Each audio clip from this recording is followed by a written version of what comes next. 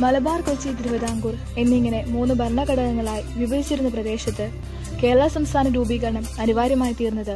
ഇരുപതാം നൂറ്റാണ്ടിൽ ഇന്ത്യയിൽ വിശേഷിച്ച് കേരളത്തിൽ നിലനിന്നിരുന്ന സവിശേഷ ചരിത്ര യാഥാർത്ഥ്യങ്ങളാണ്. ആയിരത്തി തൊള്ളായിരത്തി ഇരുപതിൽ ഭാഷാടിസ്ഥാനത്തിൽ സംസ്ഥാന കോൺഗ്രസ് കമ്മിറ്റികൾ രൂപീകരിക്കാൻ തീരുമാനിച്ചതിന്റെ അടിസ്ഥാനത്തിൽ കേരളത്തിൽ തിരുവിതാംകൂർ കൊച്ചി മലബാർ എന്നീ പ്രദേശങ്ങളെ ഉൾപ്പെടുത്തിക്കൊണ്ട് ആയിരത്തി തൊള്ളായിരത്തി ഇരുപത്തിയൊന്നിൽ കേരള പ്രദേശ് കോൺഗ്രസ് കമ്മിറ്റി നിലവിൽ വന്നു. ഇത് കേരളത്തിന്റെ മൂന്ന് ഭാഗങ്ങളിൽ നിന്നുള്ള രാഷ്ട്രീയ പ്രവർത്തകർക്ക് ഒരു പൊതുവേദിയിൽ ഒത്തുചേരുവാനും ഐക്യ കേരളത്തിന്റെ അടിസ്ഥാനത്തിൽ ചിന്തിക്കുവാനും സന്ദർഭം നൽകി.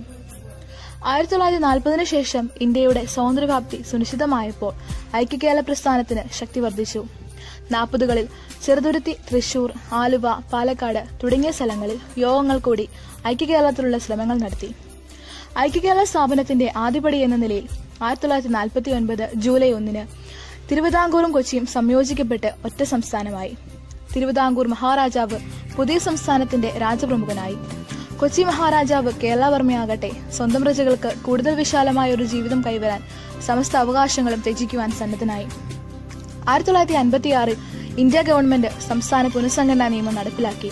അങ്ങനെ ആയിരത്തി തൊള്ളായിരത്തി അൻപത്തിയാറിൽ തോവാള അഗസ്തീശ്വരം കൽക്കുളം വിളവങ്ങോട് എന്നീ നാലു തെക്കൻ താലൂക്കുകളും ചെങ്കോട്ട താലൂക്കിന്റെ ഒരു ഭാഗവും തിരുവിതാംകൂർ കൊച്ചിയിൽ നിന്ന് വേർപെടുത്തി മദുരാശി സംസ്ഥാനത്തോട് ചേർത്തു. ശേഷിച്ച തിരുവിതാംകൂർ കൊച്ചി സംസ്ഥാനത്തോട് മലബാർ ജില്ലയും തെക്കൻ കർണാടക ജില്ലയിലെ കാസർഗോഡ് താലൂക്കും ചേർക്കപ്പെട്ടു. അങ്ങനെ ആയിരത്തി തൊള്ളായിരത്തി അൻപത്തി ആറ് നവംബർ ഒന്നാം തീയതി ഐക്യകേരളം ഒരു യാഥാർത്ഥ്യമായി തീർന്നു.